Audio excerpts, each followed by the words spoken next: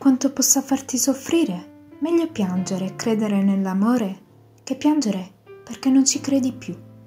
Perché il solo schianto che valga la pena di rischiare è lo schianto d'amore. Essere innamorati dell'amore non vuol dire rimbecillirsi. Ci vuole coraggio per continuare ad amare, nonostante gli inciampi, nonostante le stonature della vita, nonostante i graffi dell'anima. L'amore non è un cerotto. L'amicizia, forse.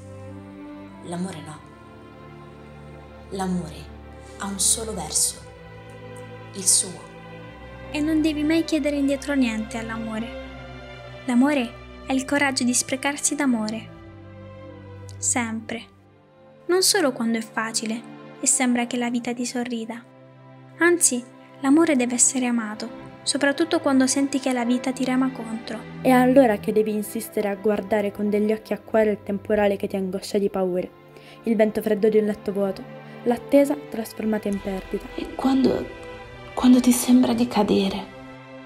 No, stringi i pugni e allarga il cuore perché è l'amore che salverà il mondo, che lo fa girare, che ci sostiene nonostante il caos di un universo in continua espansione. Immaginate se adesso per un momento, per cinque minuti, tutte le persone di tutto il mondo si guardassero con amore. Come se ognuno di noi fosse per l'altro indispensabile come se stesso. Come se la felicità di ognuno fosse uguale per tutti.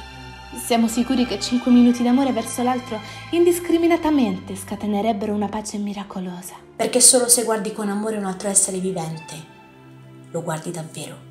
E capisci che siamo tutti passeggeri su una giostra che viaggia a 42 km al secondo. Se non ci fosse la forza di gravità, che ci tiene il culo attaccato per terra, non faremmo in tempo a nascere, che saremmo sbalzati via come proiettili verso un infinito sconfinato, alla ricerca di qualcuno capace a farci da specchio.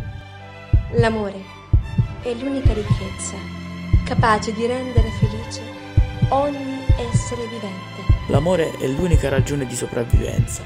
L'unico principio di evoluzione. L'unico antidoto contro il dolore è l'amore.